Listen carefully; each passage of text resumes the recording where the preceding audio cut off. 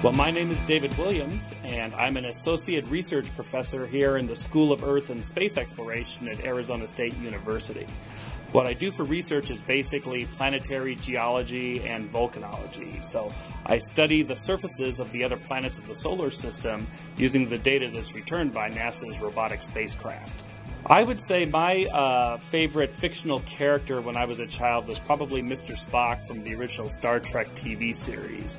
And, uh, you know, I could relate to him because he was sort of a loner and outsider, and I very much felt that way as a child, being feeling like I was different from a lot of my other friends. And it was through Star Trek that I really developed my interest in space science, and that's directly related to me getting into the career in space science that I have today. The piece of science fiction that most inspires me is the Star Trek TV shows and movies. And just watching those characters as they explored strange new worlds really inspired me into wanting a career in space science. Uh, I went on to, uh, to Indiana University where I got a bachelor's degree in astrophysics.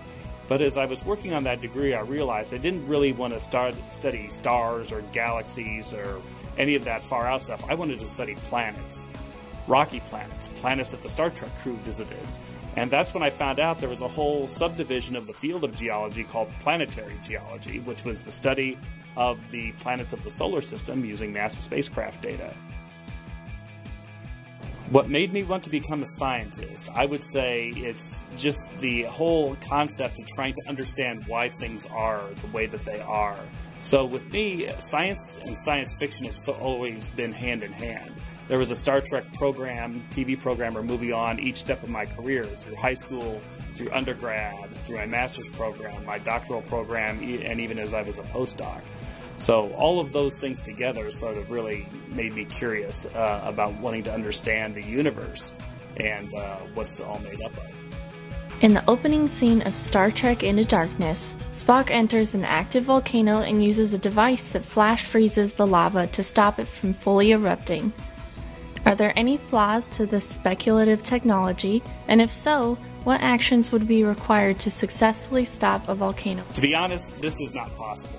Cold fusion was the name of the device that Spock used in Star Trek Into Darkness, and there is actually past research that's been done on this topic of cold fusion, basically trying to generate the energy that is produced on the sun, but under very cold conditions. And most of that research is is very equivocal. It's, it's not certain that it's actually going to be useful for anything. But what we do try and do is put seismometers or other instruments around active volcanoes and volcanic regions to try and understand the ebb and flow of the volcanic materials when it seems likely an eruption might occur so that we can warn the nearby population to evacuate.